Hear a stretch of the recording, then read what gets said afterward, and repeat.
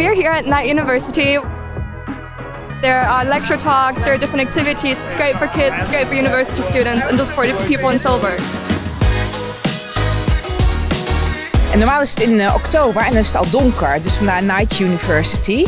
Maar ja, het is ook fantastisch om in het uh, licht mee te maken. We hebben een hand laten bewegen, wie is het met een chatbot. En over Brabant hebben we There's so many options and I really love like the lecture talks. So like one thing we're going to do is like what are sexual boundaries? I'm really excited for that. Ik ben bij Dr. Love in de Cube geweest en dat was echt heel erg leuk. A Paris attack survivor talking about his experience. Too many things, like we don't know what to choose.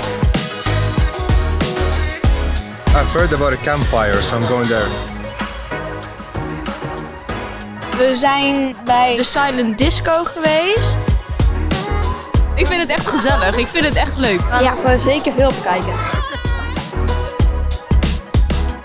Ja. Volgend jaar komen we sowieso terug. We komen volgend jaar zeker weer terug.